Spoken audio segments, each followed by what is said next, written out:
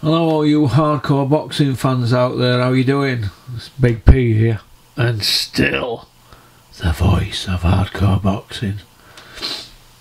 Now, I'm trying to do something different today because, from what I can see, everybody's struggling for content, aren't they?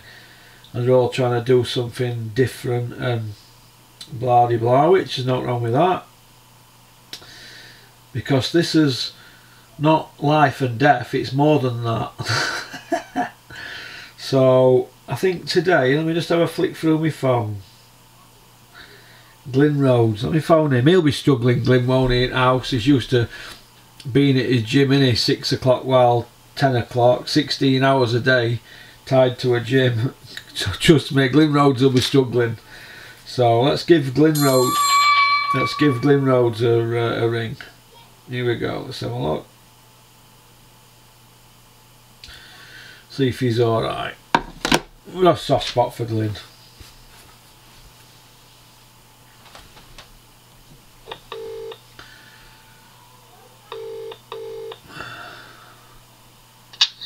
Hello. How are you doing?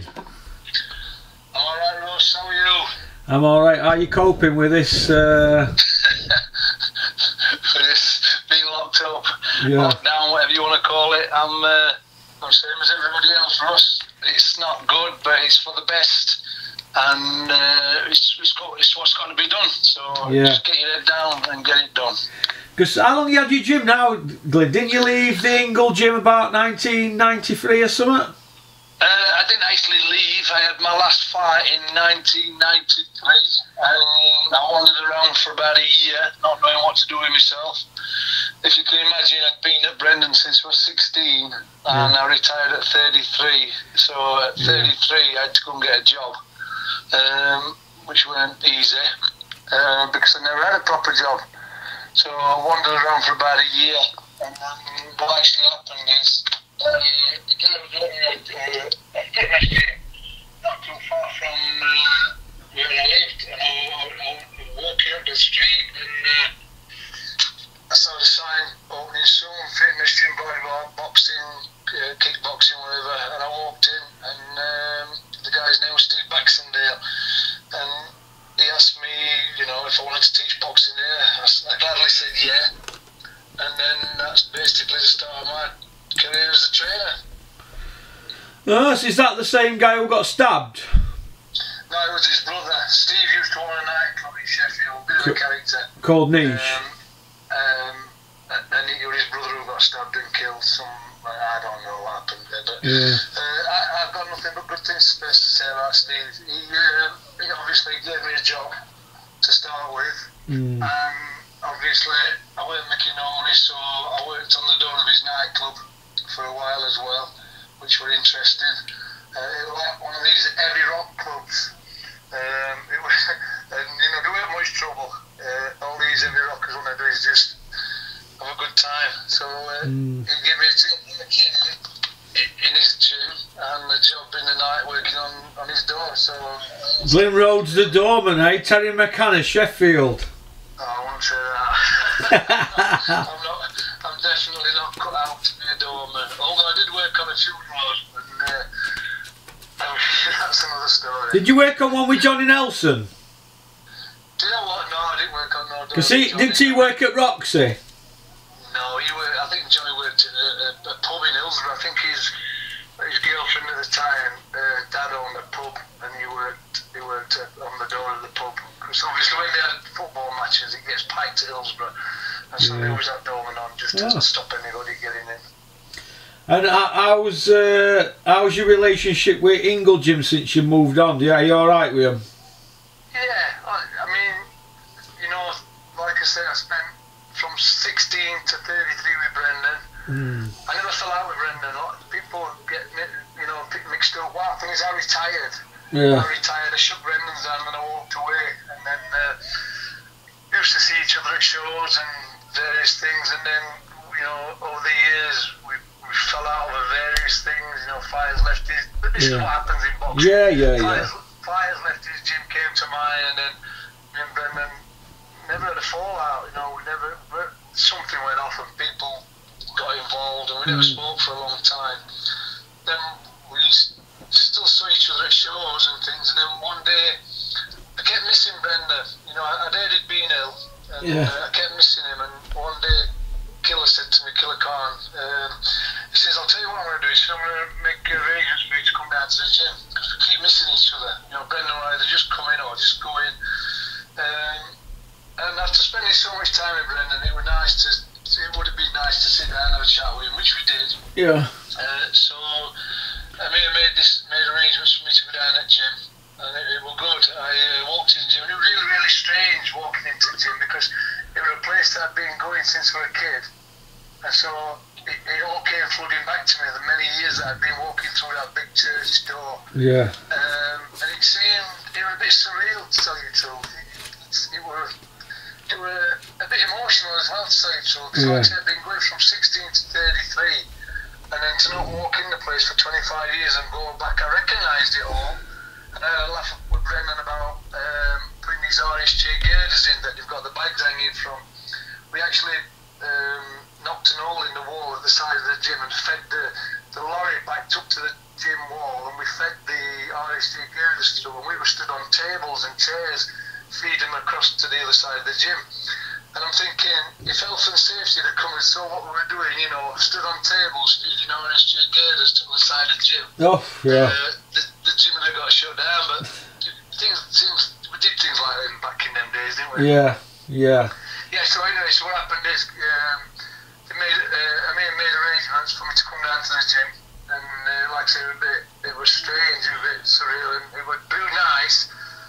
I walked in the gym, Brendan didn't see me at first, then Dominic stopped everybody training and introduced me to everybody because there were all new faces down there. I, I didn't hardly know anybody. There was a time when I walked in that gym and I knew everybody. You know, Yeah. Roma, Brian, knew, knew everybody. So when I walked in on this occasion, there were a few people I know, um, but uh, the faces were all different. Anyway, Dominic stopped everybody training and introduced me to Brendan, and we had a chat. I had pictures. He had his MBE, I had my MBE, so we had a few pictures from local paper.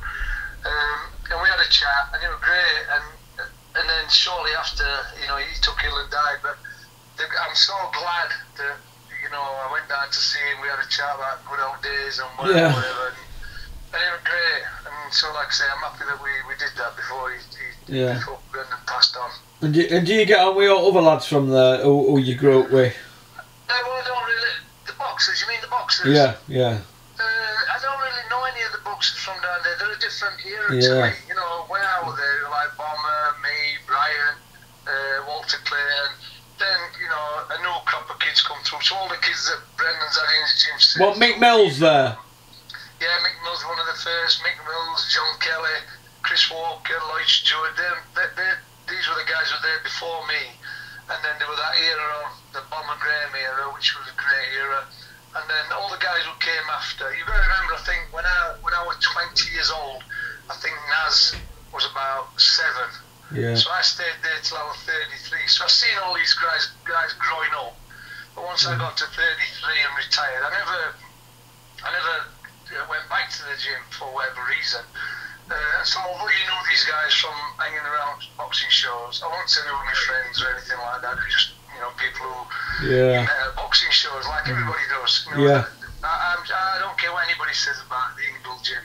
I was there at the best era.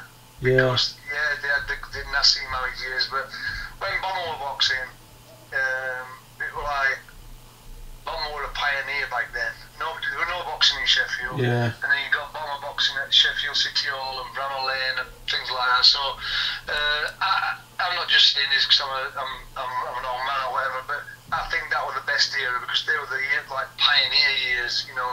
Uh, Yeah. Everybody, everybody boxing under the of Bomber Graham. I know there's had some good years since with Naz and Kel and people, but the, the, the Bomber Graham years for me were, were absolutely amazing. Yeah. Um, didn't you uh, fly into Johnny Nelson at a weigh-in a few years ago and his wife jump on your back? Next question. is it one of them?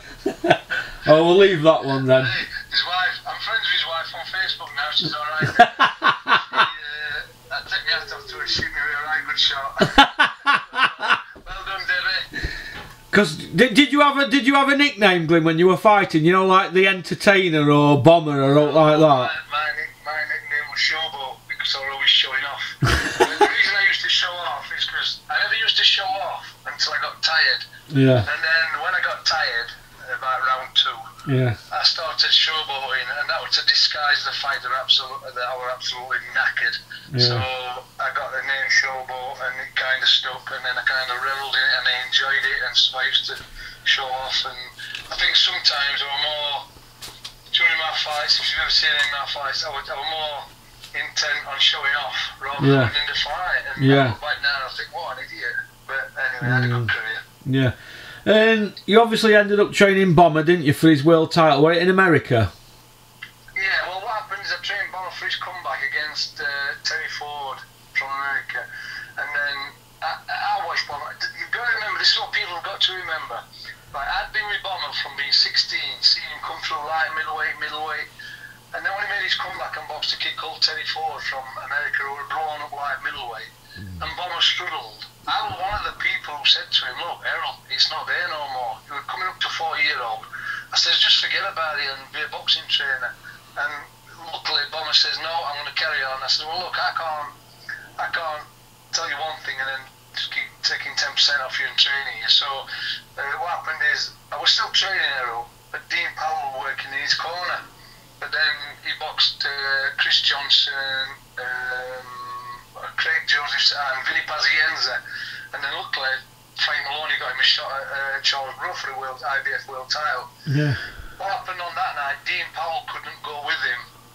So he said to me, look, would I go with him? And I thought, bloody hell, you know, it's, it's pretty right on my toes because I've I've been friends with him from being kids. Yeah. So I said, look, it's Herol's last hurrah, so to speak. So I said, yeah. So I went with Herol to America. Great experience, absolutely unbelievable.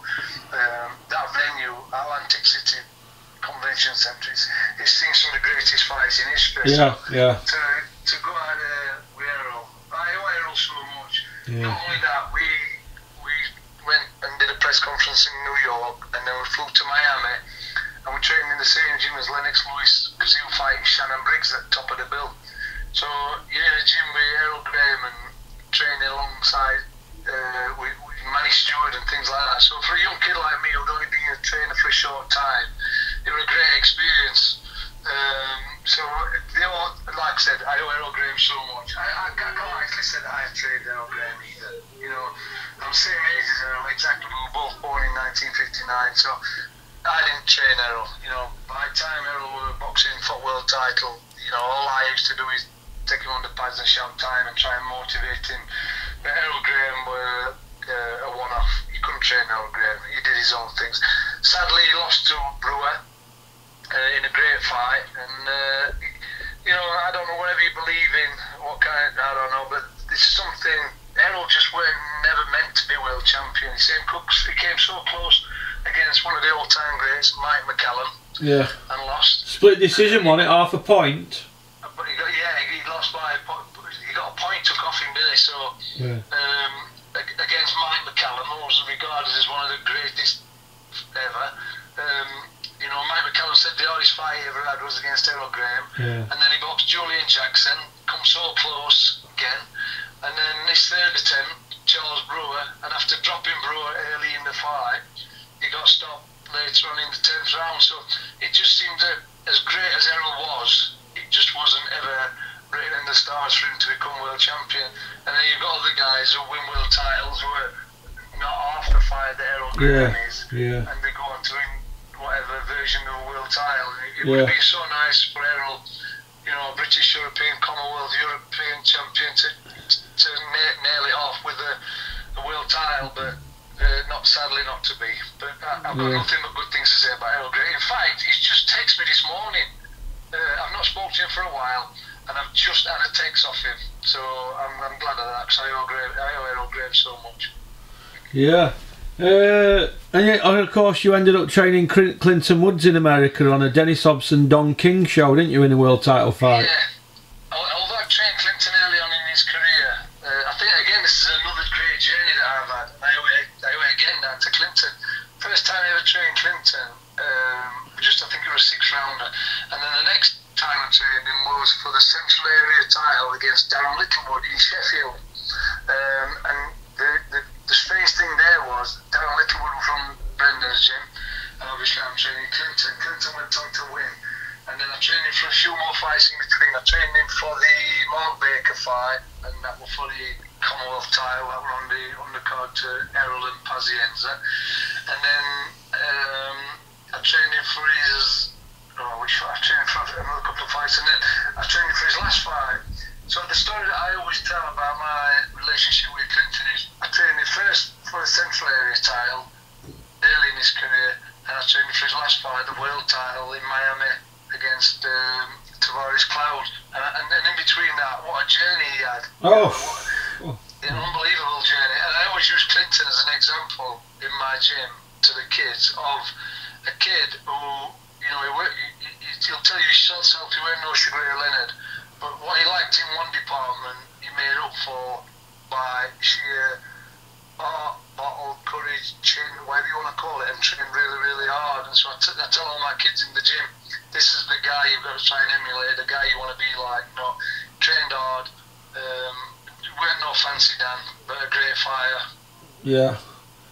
Yeah, know, it's funny actually because obviously I've spoke to Clinton at length about his career many times, and Clinton used to say to me, I used to get up every single morning and do his runs. Now you know where he lives; it's quite hilly, in it? Where he, he obviously lives up from Dennis, and there's them hills. It's just up and down, up and down, in it? And they do he do his runs just like Carl Froch and obviously like Tommy Frank does. They don't miss the runs, do they? Once you start missing them, Glyn, it's over, isn't it?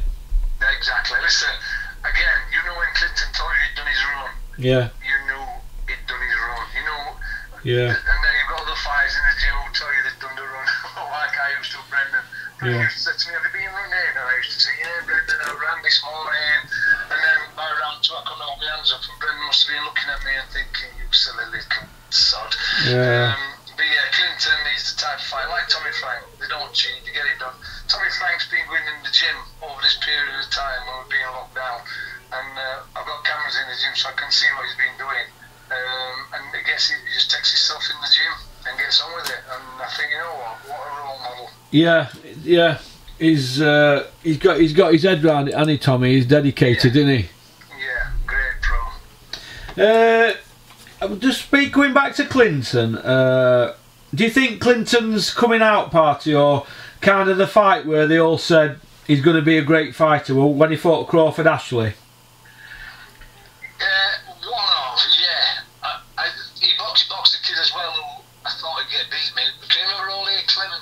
yeah. I, I, he boxed, boxed the kid as well who I thought he'd get beat me. Can you remember Ole Ole Clement. Well, he sparred him, didn't he, in Norway, didn't he? Yeah, yeah, I thought that was a tough fight for Clinton. Um, that's one of the fights that defined him, defined his, I, I think anyway, because he wasn't supposed to win, and he did the right number on him. But yeah, uh, the other one, that yeah, that's a great fight, because he wasn't supposed to win that way. Nobody No. gave him a chance to win that, and uh, he pulled it out of the bag, didn't he? Do you think Dennis matched him hard? Or do you think it was just an era where they were just tough, tough men? The era, yeah, the era that we were in, you know, fighters these days, some guys these days can become world champions by having easy fights. But having them easy fights and these unbeaten records and protected records, and you know, then when you're in a hard fight, it's such a shock because they've never been in a hard fight. Yeah. So these guys, you know, they get to the top, and the first hard fight they have, and they start asking themselves questions is they're thinking, you know, is this is this how it is? Whereas if you're having early fights in your career and they're pretty tough, and you're you're realizing that you've got, you know, you're getting dropped like Clinton did against um, Crawford Ashley, Yeah. and you know, you, you realise then that some of these kids have got a big pair of coconuts, and they can get off the floor and come back. So when it happens to them during a, a, a, a big fight, it's no big deal. But what happens with a lot of these fighters who are protected, the first hard fight they have, they fold up. Yeah, it's. Uh, did, isn't sparring supposed to replicate all that, uh, Glyn? No. I don't listen. I know that Clinton were tough. I didn't have to see Clinton spar to know he were tough, and some of the guys in the gym, I know they're tough. So I don't. I don't think you have to have hard sparring sessions to show your trainer or whoever you promote that you're a tough kid. Yeah. You know, most kids do a box. You they're tough anyway because they're going to boxing. But some kids are tougher than others. Some have got, uh, you know, uh, bigger harder than others, but I, I'm not one of these trainers who believes that you've got to have tough sparring. Don't you You know? have to have competitive sparring, obviously, but Yeah. uh, you can't replicate, no matter what you do in the gym, you can't replicate anything in the gym. What's going to happen during the fight? You know, you can go through it in your head what's going to happen and what you think will happen. But when you get it on chin, what's that famous saying that Mike Tyson said? Everybody has a plan till they get it on chin. Yeah. And that's right. You know, you can. We all go through these scenarios in your head. Oh, if this happens, I'll do this, and if this happens, I'll do that. But you get cracked on chin with a good shot. And listen, I remember Andy Olligan hit me on chin, and in the first round, dropped me in the first round. I got up and finished and lost on points, and VHS recorder, a tape of the fight after, and I watched the fight. And I honestly never knew he dropped me in first round until I watched the fight. Never. I didn't, I didn't even know. That's bad, that, isn't it? Yeah. I didn't even know I'd been on floor in first round until I watched the video. I thought, bloody hell. So, yeah, I'm not one of these fighters, trainers who thinks that you've got a have hard sparring to, you know, in the gym. I don't like it. And the other thing as well, I don't like hard sparring it because it's putting miles on your clock. And Yeah. the one thing that ruins a lot of fighters, in my opinion, is having too many wars in the gym Yeah. you know, trainers, trainers that haven't a clue what they're doing, letting fighters have wars in the gym, getting busted up around the face and things like that.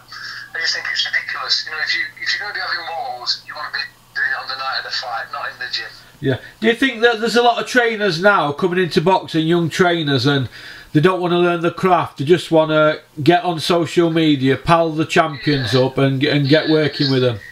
The, the thing, the thing that I, I, I don't know. Listen, um, I I do my fair bit of publicity and that, but there's some boxing trainers now, and they think they're more important than the boxers. Yeah. you know, you, you, you see him doing interviews all the time. Like I say, I do my fair share, but I don't. I, listen, I'm not. But I'm all right. I'm, I'm what I am. But these these young trainers nowadays, some of them think they're more important than the boxers. Yeah. You know, you don't see you don't see the interviews from the boxers, but there's always a trainer there giving an interview, giving his opinion. Yeah. And sometimes I just have to smile and laugh to myself and think, you know. But hey, listen, whatever. Yeah. Uh, Sam Sheedy. You had Sam Sheedy, took him to Commonwealth. Yeah, that's another thing. What I like about myself is, you know, we can all take these kids that have been on the um, England team and make them into Yeah. champions and things like that. But what I've done is basically, you know, same as what Brendan did. You know, I get kids from row novices. Sam Sheedy didn't know his left foot from his right foot. Took him all the way through the amateurs, uh, all the way through the pros, and then won a, won a major title. You know, And I did he win? He boxed NAV three English area title, Commonwealth. Yeah, title. he were robbed against uh, Langford, wasn't he? Wales. Yeah, lost to Langford for the British title. But I think that's what a good trainer does. He takes a kid, you Yeah. know, takes him all the way through from a real novice. Um, Like Smedley, like Chris Smedley did with Liam. yeah, took him through to, yeah, that's right. No, it's easy. We can, listen, anybody could train somebody who's already good. Who from Olympics. Yeah, an Olympic champion. They're already good because what's, what's happened is some bloke in a little smelly gym up and down the country uh, has trained him week after week, you know, took him to amateur shows, um, you know, educated the kid, been there when it's been good, be- you know, put his arm around him and comforted him when he's had bad losses. Um, and took him right through, and I think that's what a good boxing trainer does. Not one of these who just gets a kid who's a ready-made prospect. Yeah. And there's too much of that going on. This is why I lose my cool all the time on channel because Yeah. I see it on a daily basis. I speak to people and I'm like, that people are getting fighters handed on a plate because they're, they're well in with other people, or they can get them on TV. Yeah, that's boxing. That's, I, I don't know if it's always been like that, but um, you know, that's I don't think it's always been like that. I, I want to see some f- trainers. There's too many trainers in the twenties. Ah, I want to be a trainer. And I'll pal so and so up, and I'll and I'll get him and do this because I know him, and I can get him to that place because I'm in with a certain person. But when the push comes to push, they're playing with kids' lives because they only need to have a rough night or miss something that they don't like. That Stan Richards, wha- wha- whatever, his Stan Summit, McClellan's trainer. He missed him blinking, didn't he? Listen, yeah, listen, that's brutal. I, I, when I years ago, 25 years ago, I went on a training course, and a bloke said to me, I can't even remember his name, uh, he was an old boxer Road Amateur Training. He said to me, "Remember the kids you're training? They're somebody else's babies, and Yeah. so look after them the way you'd expect your own kids to be look, looked after." And I always bore that, bear that in mind. It's 25 years ago, and so sometimes I've been involved in fights when I've chucked out in too early. And, or I've stopped fights, or I've put kids out of fights, or whatever, whatever. Um, and you know, I'll, I'll stand by. I'll, I'll do it again, and I'll, I probably will do it again and again and again. Yeah. Um, but I always think, you know, I think it's better too soon than too late. Uh, Yeah. you, know, you know the recent experience we've had with Scotty and Yeah. So Yeah. it can happen. So I'm one of these, me. I think a fight's better to be stopped too soon.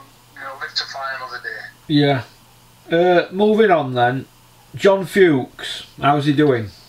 I think John Fewkes is doing absolutely brilliant. He's, he's, he's one of the best young boxing trainers out there. The re- And I'm not just saying that because he came through my, my gym from being a kid. But he was with me from 11 year old, took him all over the world. He's, he sparred in Vegas. Um, uh, Mike McCallum, I'll tell you a story. Fewkes was sparring with his kid one day. And Mike McCallum actually said to him, he fights like a brother. he fights like a brother. Uh, so has paid his dues. He's, he's doing a really good job.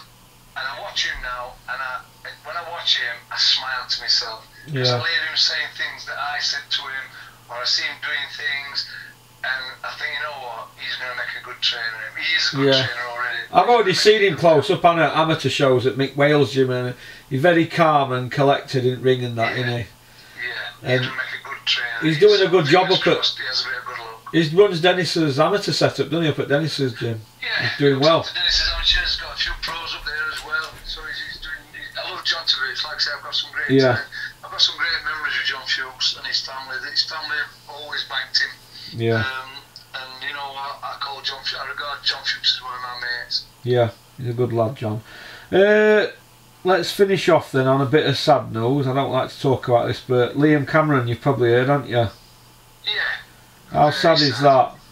it's terrible, isn't it? It's, it's, it's, God, I don't. Again, I don't know what the answer is. What's, I don't. You know, you make comparisons with other people um, that have, have gone through the same situation, and it's, it's not black and white, is it? No, people are getting people are getting four year bans like Liam, and then we've got other people two time cheats, and they- they- they- they're not doing note about it. And Povetkin is he free time? It, it, it seems to be oh, oh, they're going after the small fry, hammering them to set a precedent. But if you've got big people behind you, it, it goes away, doesn't it? Well, so it would seem. You know, a, it's not black and white. I understand that, but this grey area that's uh, it, it's just I don't know. I can't get my head around it. Me, you know, how can one person we both get done for the same thing, and this happens to one person, but another person, I don't know. I can't get my head around that. It just, it's, it's just, it's just disgusting, isn't it? Mm, I just hope that Liam's all right and that he doesn't do out daft. Well, fingers crossed. Let's hope. Yeah. He, uh, I, I think what Liam should do is what a lot, I'd like to see a lot of ex-fighters do. You know, I never thought when I was boxing, all I wanted to do when I retired from boxing, I thought that's me done. I'm out of here. I'm not, I don't want to be a boxing trainer. But Mm. what I wish a lot of fighters would do is, I wish a lot of fighters would stay in the game and become trainers. Yeah. I think that's what it needs in this game. It needs more Yeah. ex-boxers Yeah. becoming trainers, you know, teaching young kids, you know, learning from their experiences. Yeah. And I think Liam would, would be good at that. He's, he's a good kid to get along with, um, and I think he'd make a great trainer. Yeah, I do. I do. But uh, let's wish him all the best. Right, well, that's been brilliant, Glyn. You're always a good guest on Porky's Corner. We say it as it is. I hope the questions want to hard for you. That's a problem Sometimes that's, that's a problem. Sometimes I always say it as it is. Yeah, you do. That, in it, that We're not bothered, we can are we, live us? with that. We can live with that. Nobody ever does though. Anyway, it's all smoke and mirrors. Uh, listen, forget that. I mean, sorry for bad Sure. language, but listen, Ross, you stay safe. yeah. I'll speak to you. You take care, my friend. Take it easy. Bye. Ross. Bye. And that were Glyn Rhodes. That was his story. Very interesting. Glyn Rhodes MBE. So, peace out. Keep on trucking. Keep supporting boxing. Shout out to Weak Wellings and Smido and Ozzy from the Boxing Asylum.